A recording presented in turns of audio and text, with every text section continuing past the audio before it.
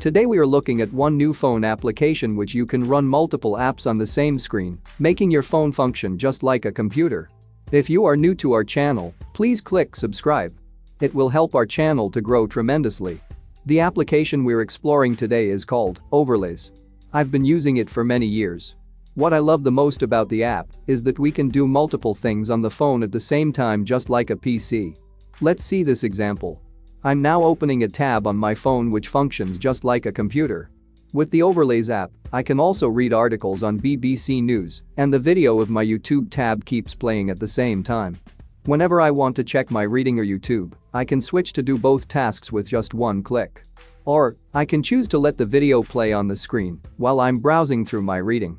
As you can see now, I can keep reading this article and I can customize the settings so that I can read the news and watch my favorite movie at the same time.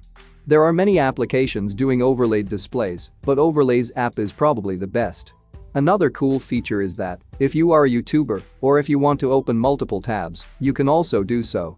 This means you can let many videos run at the same time on your phone just like on a page browser on computers. You can also play multiple playlists too. There is a free version of the application and you can explore other tasks available on the app. I hope you'll find this video useful. If you are new to our channel, please consider subscribing to learn more about useful phone apps and updated technology. You can also leave comments on this video if you have any useful apps to suggest to me for my new videos. Thank you.